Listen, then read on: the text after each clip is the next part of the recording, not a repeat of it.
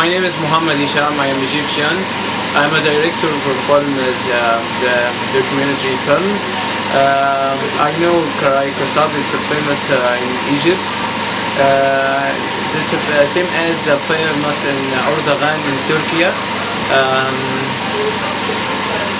Nice picture. okay.